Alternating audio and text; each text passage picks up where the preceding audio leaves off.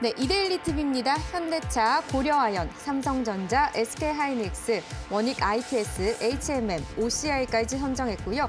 한국경제TV는 HMM, SK하이닉스, 삼성전자, 포스코케미칼, EM코리아, 테라전 이텍스, 두올, 제넥슨까지 선정을 했네요. 매일경제TV로 가보겠습니다. 삼성전자, 부광약품, 현대차, HMM, 삼성전기, 코아시아, 한미약품, 우리산업까지 들어가 있고요. MTN은 MH에탄올, 현대차, HMM, 위메이드, SK하이닉스, 코아시아, 한미약품, 그리고 대원산업까지 담았습니다. 네, 팀장님 그래도 오늘 시장 뭐 지난주에 참 또 우울했긴 했지만요. 다시 네. 한번 또 반등하는 모습입니다. 그래도 장 초반에는 한 2%대 상승 흐름이었는데요. 네. 약간의 상승폭은 줄여내긴 했지만 그래도 기관과 외국인이 들어와주고 있는 그런 모습입니다. 전반적으로 이런 시장 상황 속에서 오늘의 특징주 좀 의미가 있을까요? 저는 오늘 특징주가 지난주에 봤던 종목들이 대부분 겹쳐서 예. 그만큼 시장이 오락가락했다라는 걸 좀 반증을 좀 음. 하는 것 같아요. 아무래도 시장 분위기가 상승 쪽이든 하락 쪽이든 확정이 돼야 아마 특징주 분위기도 좀 바뀌지 않을까라는 말씀드리고 싶네요. 네, 네, 알겠습니다. 뭐 일단은 어찌 됐든 지금의 조정 흐름은 음. 그래도 조금은 더 갈 것이다 이런 의견들이 꽤 있더라고요. 예. 조정이라고 조정이라기보다는 저는 개인적으로 좀 오락가락 오락가락. 네. 그러니까 지금 지난주 목요일부터죠. 목요일부터 지금 네. 계속해서 급등을 했었다가 급락을 했었다가 음. 계속 반복이 되다 보니까 이게 시장이 빠지는 건지 올라가는지 상당히 좀 헷갈리실 것 같아요. 근데 좀 한 가지 긍정적인 말씀을 좀 드리자면은 어, 지난주 금요일 날 코스닥 기준으로 하락 종목사 1200 종목이 넘었거든요. 음, 근데 이 부분을 왜 제가 주목을 좀 하냐면 보통 하락의 그러니까 시장이 하락을 할 때 끝자락에 나타나는 특징들이 여러 가지들이 있어요. 근데 여러 가지 중에 하나가 뭐냐면은 하락 종목 수가 극에 달하는 경우. 그러니까 예. 지난주 금요일 예를 들게 되면 하락 종목 1200 종목이 넘었거든요. 근데 이게 하락 종목 수가 이렇게 하락 종목 수가 1200 종목을 넘어가면서 이렇게 극단적인 현상을 보이는 건 하락 끝자락에서 나타나는 현상이거든요. 음. 그래서 어찌 보면 좀 긍정적으로 봐도 되지 않을까라는 말씀을 좀 드리고 싶은데 그리고 또 저도 개인적으로 좀 헷갈리는 게 어, 3,000포인트 부근에서 왜 하락 끝자리에서 나타나는 신호가 나올까? 그러니까 이렇게 이것도 좀 헷갈리는 거예요. 네. 그러니까 제 개인적인 얘기를 하자 보면 최근 시장이 뭐 다른 분들도 마찬가지겠지만 다른 분들은 모르겠어요. 다른 모르겠는데 저는 되게 너무 헷갈려요. 아마 많은 네. 개인 투자자 분들도 같은 마음이실 것 같아요. 그렇다 보니까 이제 각각의 어, 개별 장세잖아요. 지금 어떻게 보면 지수보다도 종목을 더 보게 되는 그런 시장이다 보니까 그런 옥석 가리기들이 더 중요시 되실 것 같아요. 그래서 이런 정보를 또 저희가 잘 공유를 해드려야 되는 그런 입장인 것 같은데 자 그렇다면 네. 지금 전문 우리 팀장님도 오락가락하는 만큼 우리 또 시청자분들에게도 네. 개인 투자자분들에게도 그 오락가락하는 이 마음을 좀 진정을 시켜드려야 되잖아요. 네. 이런 의미에서 봤을 때 오늘의 세 가지 종목 어떤 포인트로 좀 짚어보면 좋을까요?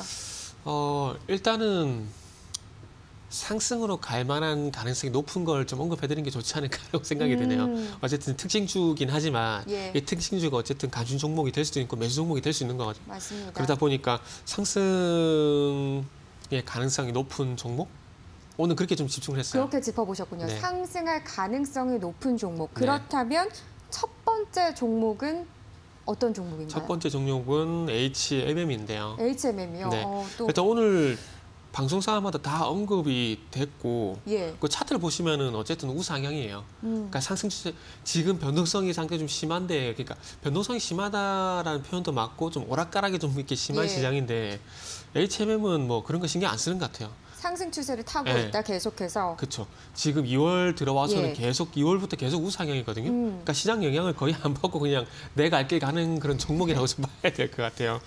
어, 그런 종목이 어떻게 보면은 네. 받치고 있는 힘이 굉장히 단단한 게 아닐까요? 어, 그만큼 매수의 힘이 강하다라는 매수의 거죠. 힘이 강하다. 그러니까 제가 조금 전에 음. 코스닥 기준으로 하락 종목수 1,200점이 넘어간다 말씀드렸잖아요.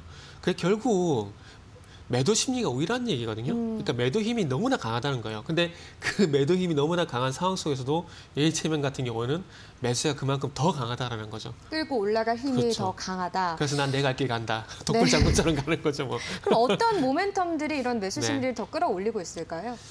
아, 뭐 어쨌든 결론적으로 좋다라는 거죠. 음. 좋다. 그래서 오늘도 뉴스를 보시면은 뭐 예. GS 칼텍스와 6,300억 규모의 원유 장기 운송 계약 이 소식이 있었는데 어, 일단 잘 아시다시피 HMM 같은 경우는 컨테이너 부분이 90%입니다. 그러다 보니까 그동안 SCFI라 그래가지고 컨테이너 운임지수가 계속 우상향을 하다 보니까 실적도 좋아지고 그 주가도 계속 좋아졌거든요.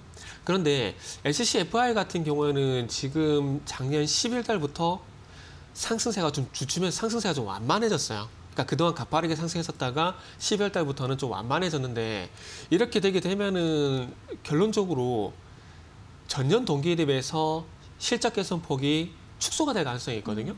그래서 그런 부분들이 가끔씩 조정의 빌미가 되는 경우가 있어요. 그런데 지금 뭐 GS 칼텍스와 장기 운송 계약을 했다라는 건 이제는 컨테이너뿐만 아니라 컨테이너 플러스 이제 벌크 부문도 같이 하겠다라는 겁니다. 최근에 원자재 가격 상승도 있고 그리고 중국의 어떤 수요 증가 이런 영향들로 인해 가지고 벌크선 운임 지수가 좀 상승을 하고 있거든요. 그리고 잘 아시겠지만은 HMM뿐만 아니라 최근에 BDI 지수 벌크선 운임 지수가 올라가다 보니까 페노션도 주가가 괜찮아요.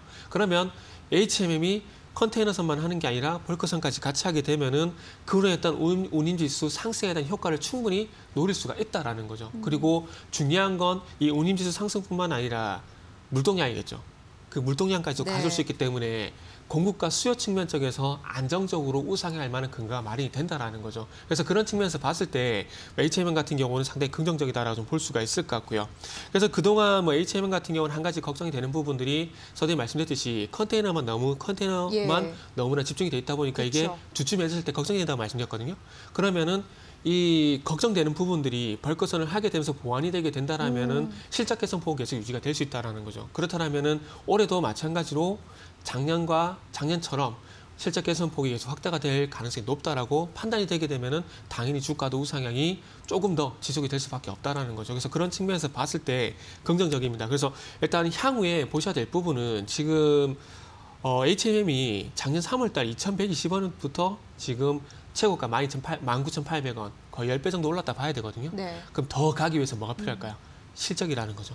그래서 이 실적에 대한 실적에 긍정적인 영향을 줄 만한 부분이 나타났기 때문에 일단은 뭐 1분기뿐만 아니라 2분기까지는 지금 3월 달이잖아요. 3월 달이니까 4, 5, 6, 2월 2분기까지는 조금 더 우상향할 만한 그런 힘이 원동력이 갖춰졌다라고 좀 보게 된다라면은 어, 조금 더 긍정적으로 홀딩할 수 있는 근거가 생겼다 이렇게 보시면 될 것 같습니다. 네, 결국 말씀하신 것처럼 그동안은 이제 컨테이너선 사업 의존도가 높은 상황이었는데 이렇게 이제 벌크 사업까지 투자를 늘리게 되면 좀 리스크는 분산시키면서 장기적으로는 좀 이런 경쟁력은 끌어올릴 수 있다 이렇게 보시는 거군요. 포, 그러니까 그 말씀하신 걸 한마디로 정리하면 포트폴리오의 다양화, 포트폴리오의 네, 다양화. 수익원의 다양화 음. 이렇게 연결시킬 수 있는 거죠. 저희가 포트폴리오 네. 주식 포트폴리오 이야기할 때도 한 곳에 쏠리는 것보다는 분산시켰을 때 조금 더 리스크를 줄일 수 있다라는 측면처럼 사업적인 네. 그쵸. 관점에서 그렇게 좀 네. 접근이 되겠군요. 알겠습니다. HMM에 대해서 알아봤고요. 두 번째 종목으로 보겠습니다. 두 번째는 저도 개인적으로 좀 주목을 하고 있는 섹터인데 아이오닉 five.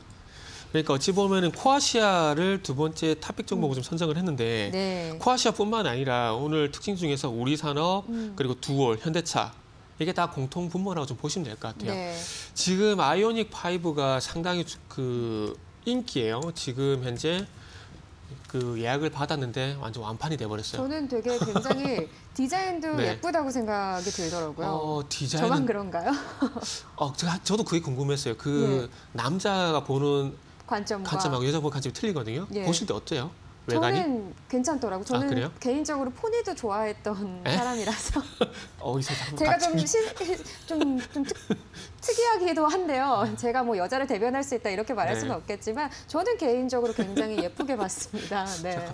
포니를 알 정도면 나이가 나이가 비슷하세요. 네. 아 저보다 나이가 많이 어릴 줄 알았는데 정말 다행이네요. 네, 다행이죠. 예. 그런 어쨌든, 의미에서 코아시아를 네. 가져오셨다. 네. 예.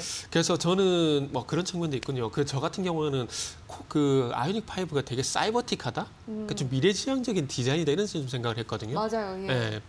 그래서 결국 아이폰이 인기가 있는 게 결국 디자인이거든요. 음, 그러면은 현대차가 아시겠지만 제네시스 브랜드라든지 그 이전에 팰리세이드 모델이 출시가 되게 되면서 가장 큰 변화가 디자인입니다.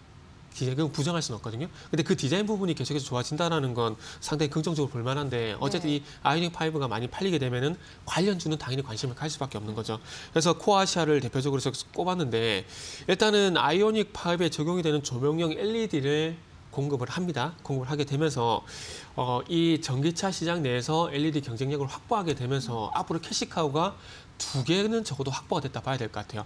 어, 지금 코아시아 같은 경우에는 시스템 반도체를 만들고 그리고 시스템 반도체 유통이란지 그리고 LED 부분이 있고 카메라 모듈 부분이 있거든요. 근데 지금 어쨌든 뭐 아이닉 5의 어떤 인기가 계속 지속이 되게 된다면은 일단 LED 부분에 대한 부분은 일단은 기대도 될 것 같고 그리고 저는 LED 부분보다는 더 그 기대를 하고 있는 부분이 삼성전자 파운드리 삼성전자 파운드리 공식 파트너사입니다. 어, 예. 우리가 시스템 반도체 얘기를 할 때 소위 fabless하고 foundry만 너무 집중적으로 얘기를 해요. 네. 그런데 이 시스템 반도체 같은 경우는 네 가지 영역이 있거든요. 처음 그 팹리스 그리고 디자인 솔루션 그 다음에 파운드리 그 다음에 조립 테스트 부분인데 이 코아시아가 DSP 디자인 솔루션을 담당하고 있다 보시면 될 것 같아요. 그래서 어, 작년 4월달 같은 경우는 삼성 파운드리 공식 디자인 솔루션 파트너로서 선정이 됐고요. 그리고 작 6월달 같은 경우는 영국의 반도체 설계 자산 기업인 ARM의 공식 파트너로 선정이 됐습니다. 이게 왜 중요하냐면은 TSMC 같은 경우도 마찬가지로 어, 그, 그 디자인 솔루션 업체를 파트너로 선정을 하고 있거든요. 그래서 그 회사 실적이 작년에 굉장히 좋았어요. 예. 근데 만약 코아시아가 이 삼성전자 foundry를 만나게 되면서 앞으로 수주도 늘어나게 되고 실적도 늘어날 가능성이 상당히 좀 높다라고 좀 봐지거든요. 예. 그리고 이 디자인 솔루션, DSP 부분 같은 경우는 시스템 반도체 부분에서도 그동안 많이 부각이 안 됐었기 때문에 새롭게 어떤 시스템 반도체 수혜주로서 부각이 될 가능성이 상당히 높기 때문에 코아시아를 좀 주목해봐야 되지 않을까 생각을 하고 있습니다. 그래서 결론적으로 코아시아 같은 경우는 말씀드렸듯이 이제 파운드리 그리고 LED 요 두 부분이 앞으로 어, 코아시아를 이끌 가능성이 상당히 높다라 높은 성장성 중소형 small cap이라 봐야 되겠죠. 어, 그럴 수 있겠네요. 네. 지금 어쨌든 삼성전자 파운드리 공식 파트너사인 부분과 함께 지금 네. 아이오닉 5 같은 경우 이제 다음 달부터인가요? 유럽 오, 이제 네. 이번 달이 되는 거죠. 네. 유럽에도 계속 뭐 미국 순차적으로 출시를 해서 지금 10만 대까지 목표를 잡고 있다라고 음. 지금 하더라고요. 이미 내년까지. 올해 목표치인 26만 5천 대를 지금 예약 있는 받은 게 거죠. 예. 다 주문을 받은 상황이기 때문에 이게 다 매출로 잡힌다고 봐야 돼요. 그럼 더그 네. 이상이 될 수도 있는 또 그런 수혜가 될 수도 그렇죠. 있겠네요. 결국은. 네. 어, 알겠습니다. LED를 지금 공급을 하고 있는 그런 코아시아 조명용 LED 음. 공급하고 있는 코아시아도 눈여겨 볼 수 있을 것 같습니다. 어쨌든 그 음. 되게 중소형주로서 강력한 모멘텀을 갖고 네. 있다라고 봐도 되겠네요. 지금 시장에서 그래서 저는 지금 때. 코아시아하고 AD 칩스를 좀 주목을 하고 있어요. LG 칩스요. AD 칩스. AD 칩스요. 네. 아, 네, 알겠습니다. 또 하나의 관심주를 던져주셨습니다. 네. 알겠습니다. 자, 세 번째 종목으로 네. 넘어가겠습니다. 세 번째는 삼성전기입니다. 음, 아마 이 시간 통해서 한 번도 언급을 안 했었던 종목인 것 같아서 삼성전기 네, 말씀하시는 그리고 거죠? 예. 삼성전자하고 SK 하이닉스는 그동안 너무 많이 언급을 해가지고요. 그래서 삼성전기를 좀 준비를 예. 했는데 음, 일단은 뭐 경쟁업체라고 좀 봐야 되겠죠. 경쟁업체라고 할 수 있는 일본 무라타가 최근에 MLCC 가격을 인상을 했습니다. 그렇기 때문에 예. 삼성전기도 인상할 가능성이 상당히 높다고 봐야 되는데 뭐 간단하게 말씀드리면 공급과 수요 측면에서 봤을 때 지금 공급이 딸리는 상황입니다. 그러다 보니까 아무래도 공급사 우위 시장이 형성이 돼 있고 가격을 올릴 수 만한 어떤 지휘력까지 온 상황이기 때문에 상당히 뭐 삼성전기 입장에서는 기분 좋은 일이라고 좀 봐야 될 것 같아요. 예. 그래서 어쨌든 이 MLCC 가격 인상을 하게 되면은 너무나 당연 얘기지만 실적 실적. 그렇죠. 실적에도 당연히 긍정적 요인을 줄 수밖에 없기 때문에 올해 뭐그 연간 기준으로 봤을 때 1조 원이 넘는 영업이익 기대를 하고 있는데 이 부분은 너무나 달성이 가능하다 봐야 될 것 같고 더 중요한 부분은 여기서 얼마만큼 또 실적 가이던스가 또 상위 조정될 것인가 예. 이게 또 관건이라 봐야 될 것 같아요. 그리고 오늘 뭐 MLCC 가격 소식뿐만 아니라 줌 폴디드 카메라 모듈 공급 소식도 있거든요. 그래서 이 부분도 이제 앞으로 스마트폰 부분에 계속 채용될 예정이기 때문에 어, 상당히 삼성전기 같은 게 기분 좋은 소식이 나오게 되면서 저는 개인적으로 좀 탈 삼성전자 삼성전기가 삼성 아 삼성전기가 삼성전자랑 주가 좀 연동된 경우가 상당히 좀 많아요. 예. 그래서 조금은 탈 삼성전자를 하게 되면서 이제는 어, 삼성전자 달리 오늘 6% 정도 상승을 하고 있거든요. 네, 급등하고 네, 있어요. 이제는 예. 이 계기로 인해서 조금 상승 반전했으면 좋겠다는 뭐 개인적인 바램도 말씀을 좀 드리고 싶네요. 그래서 일단 앞으로 5일선만 좀 안착이 되게 된다라면은 예. 아마 추세 전환될 가능성 이 상당히 높다. 뭐 이렇게 좀 말씀을 좀 드리고 싶네요. 네, 오일선 부근. 지금 어쨌든 네. 흐름을 보니까요. 또 작년 한 3월 부터는 계속해서 꾸준한 음. 상승 흐름은 계속해서 나타내주고 네네. 있는 상황이기도 하고 뭐 10월 기점으로는 굉장한 또 상승력을 보여줬던 그렇죠. 가팔랐죠. 네. 가파르게 올라온 그런 종목이네요. 삼성전기고 그럼 이제부터가 어떻게 보면 삼성전기의 탈 삼성화의 시작이 되지 않을까 이렇게 좀 관점으로 네, 보고 계시는 좋겠습니다. 거군요. 그랬으면 좋겠다. 그랬으면 바람을 또 넣어주셨군요. 알겠습니다. 다 그런 것 같습니다. 어떤 종목이든 뭐 이슈들 좋은 호재거리들이 나와주는 건 좋은데 말씀하신 것처럼 실적에 결국은 뒷받침이 돼야 또이 네. 종목이 더 올라갈 수 그렇죠. 있냐 없냐를 결정짓는 기준선이 될 수 있으니까요. 그런 측면에서 삼성전기까지도 잘 알아보시면 좋을 것 같습니다. 네, 이렇게 오늘 또 세 가지 특징주 확인해 봤네요. 고맙습니다. 네, 감사합니다.